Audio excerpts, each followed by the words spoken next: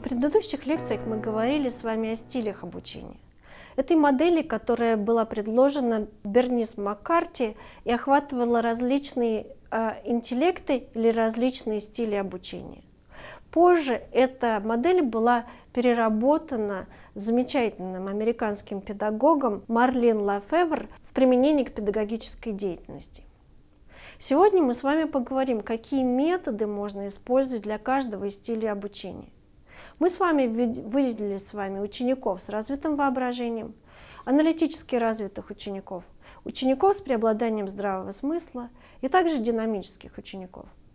Рассмотрим, какие методы и какие способы обучения наиболее характерны для каждого из типов, и как это можно использовать в вашем собственном обучении или в преподавательской деятельности.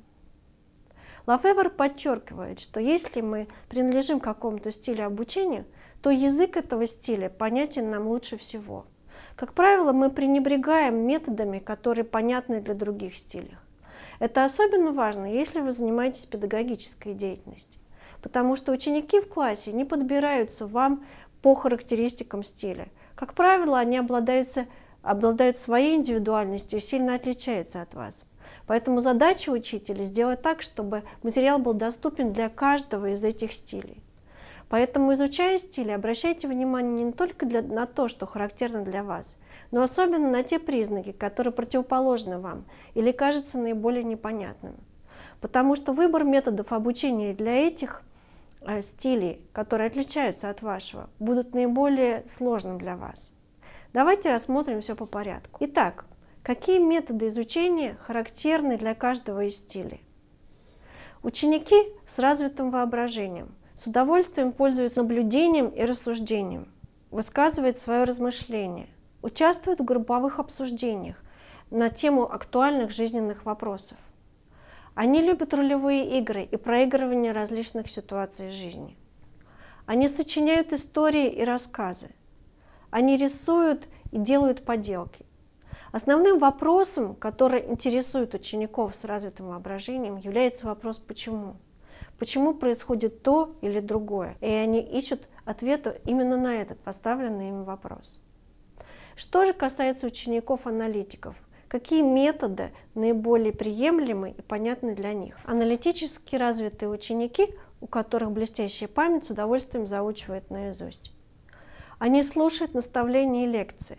Они участвуют в диспутах отстаивая свою точку зрения. Они с удовольствием анализируют информацию и делают презентации. Они занимаются изучением различных позиций, тем и мнений. Они занимаются тематическими обсуждениями. В целом, ученики с преобладанием аналитических способностей с удовольствием отвечают на вопрос, что произошло, что было в сути того, что происходило, или кто, какие люди были задействованы в тех или иных вещах. Они любят факты и любят знания как таковые. Что касается учеников с преобладанием здравого смысла, их интересы немного отличаются. Такие ученики с удовольствием задействуют следующие методы. Занимаются исследованием. Они решают задачи различного уровня сложности. Они самостоятельно изучают различные вопросы. Они решают логические задачи. Используют компьютерные игры в обучении. Они разрабатывают проекты, проходит тесты, принимают участие в подвижных играх и задачах с движением. Основной вопрос, на который ищут ответ ученики с преобладанием здравого смысла, это вопрос, как я могу применить эти знания сегодня. Динамически развитые ученики относятся к совсем другой категории. Как мы говорили, сфера их интересов принадлежит не сегодняшнему дню, а будущему. Какие методы наиболее характерны для них? Они решают нравственные дилеммы.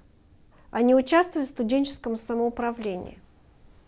Делятся идеями в процессе мозгового штурма. Они участвуют в творческой переработке идей.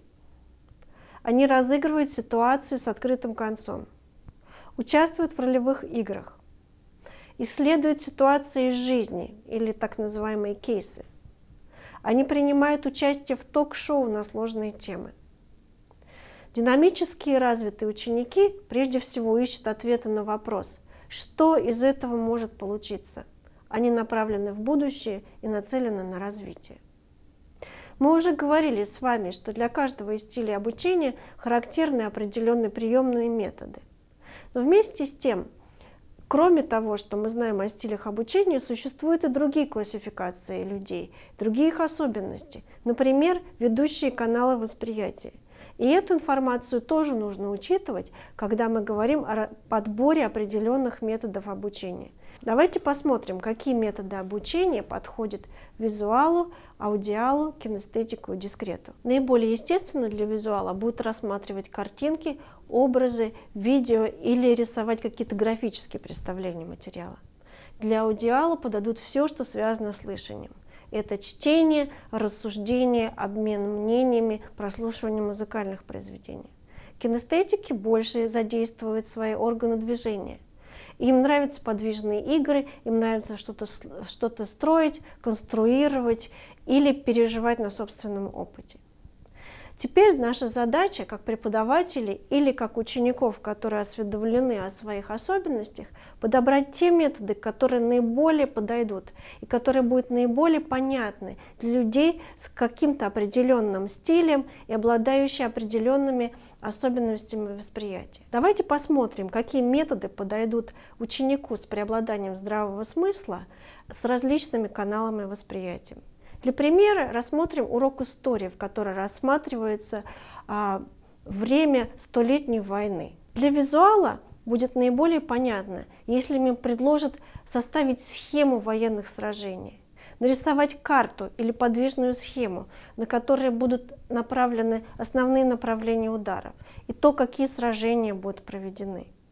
Для аудиала можно предложить подобрать и прочитать те те стихотворения или те поэтические произведения, которые были посвящены Столетней войне. Или, например, предложить ему исследовать оружие и узнать, какие звуки издавало это оружие и как звучал бой, когда он проходил в то время. Для кинестетиков можно предложить разыграть сцены из этой битвы или э, при участии других учеников представить одного ученика и другого ученика как определенные страны и разыграть бои, происходящие события в схематическом виде.